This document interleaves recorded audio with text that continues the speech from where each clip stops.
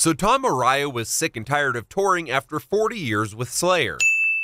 On November 30th, they played their last show, and Kerry King wasn't happy. Well, as it turns out, King has a new project for 2024. All we know so far is Paul Bostaph is playing drums. But check this out. Kerry said he's got enough riffs for at least two records. And guess what? We don't know what the name of his new band is. But prior to Slayer calling it quits, in 2017, King registered a new company, Blood Rain. Kerry King's entire career has been with Slayer, so you know what this new project is going to sound like. Will the Slayer ever come back?